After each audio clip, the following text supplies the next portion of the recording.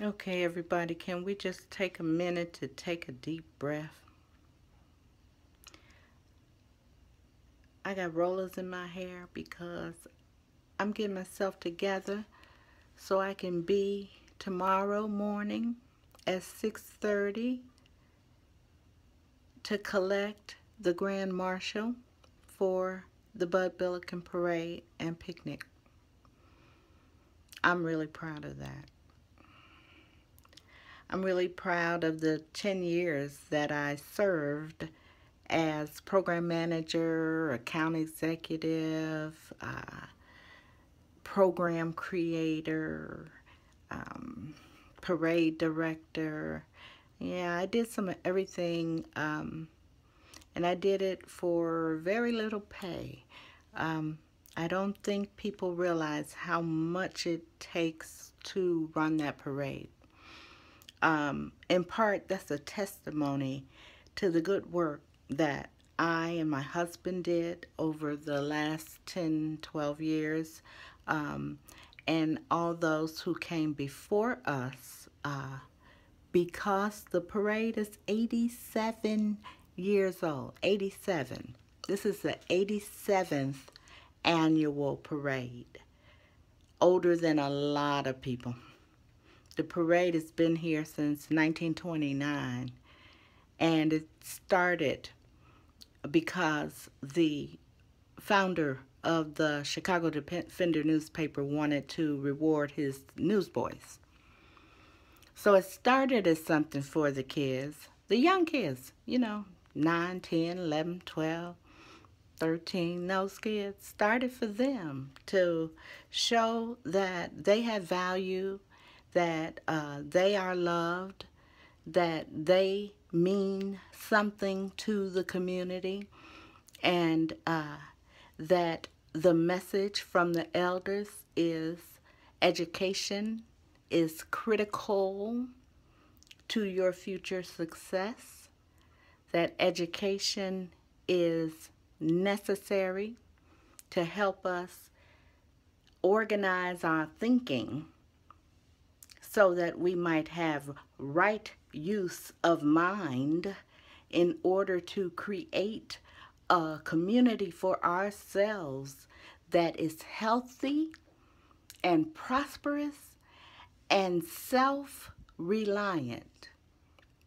And so for years, the area where the Bud Billiken Parade takes place uh, was just that you know, we've been forced into a lot of neighborhoods, but we made it work because the postman and the hustling man and the banker man and the seamstress lady and the domestic worker and everybody lived together in the same neighborhood we hadn't set ourselves up into slices and decided that we had value based on someone else's system so much then.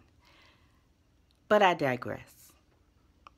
The message about that is that the parade has been in place for 87 years. And no one entity should be able to disrupt what 87 years of hard work, love, and commitment has brought together. You're not going to find anywhere in this United States of America a Bud Billiken parade. This parade is known wherever I travel, and not just by black people. This parade, it's a crown jewel it's our crown jewel. And it's our big black Chicago style family reunion. And it's where the president sends his representative and it's where the brother that sells socks on 55th and Wentworth can make a ton of money on parade day it's an economic engine for black people It's a cultural event for the world to see. It's a marketing bonanza for corporate sponsors. But most importantly, it's a tradition for black families to come out and celebrate our children and to encourage them so that they remain focused on education. So we have some issues this year. We have a whole lot of shit going on, right? One of our favorite units will not be participating in the parade this year. And there's new leadership at the Bud Billiken Parade, and they are eager to make some differences that may have caused a little bit of anger by our Black Lives Matter group. Um, and I want to say to Black Lives Matter, Jamal particularly, I want to say to you, Jamal, I want to say to you, Mr. Robinson, Mr. Art Robinson at the South Shore Drill Team, and I want to say to you also, Dr. Marcus Alexander at the Chicago Defender Charities. I want to say to you that we must remember that we are all great contributors to the black community. Mr. Robinson, what you've done is just outstanding. Jamal, your courage is breathtaking. Dr. Alexander, you've stepped in at 100% and you're open to learn. But, brothers, let me tell you something. It's not about you. It's not about you even a little bit. It's about the two, three, four, five, six, seven, eight, nine, ten, eleven, twelve year old children and their grandmothers and great grandmothers and great grandfathers and uncles who've lined this route for years and years and years. It's about them, actually. They are the community. They are the ones that make the parade great. Their stories, their memories of the parade, their enthusiasm, and their love for this parade. That's what makes the Bud Billiken Parade great. And when you see those kids tagging out in the street and you, oh, that's a shame and blah, blah, blah, blah, blah. And when you see those corporate sponsors in the front of the parade and you say, ah, they really making money, they ought to be able to do this, hush, hush.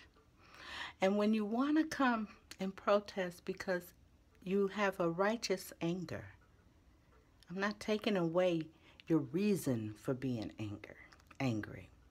I'm asking you to consider the children to consider the tradition, to consider the love, consider the history, consider the meaning, consider the hard work, consider the love, love, love.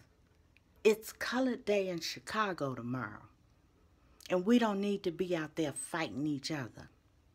Everybody got their say this week.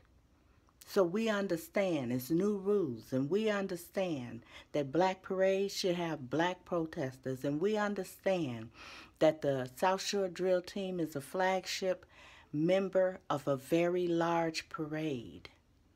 And that imagine if your two favorite cousins, just imagine if you got family members you love, your sister and your brother, your auntie and her husband, and you love both of them and then they get into an argument and then they not speaking and you come over there and you see they not speaking what you gonna do?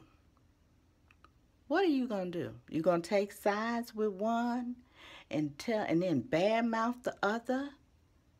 When you know what brought them together was love and what's to keep them together is love. So when you do that when love calls them back together and you standing there because you done took sides what you gonna be? Left out right? Cause we family. Like this is family if fam make a mistake we don't throw the baby out with the bath water I think we done whipped that butt really good.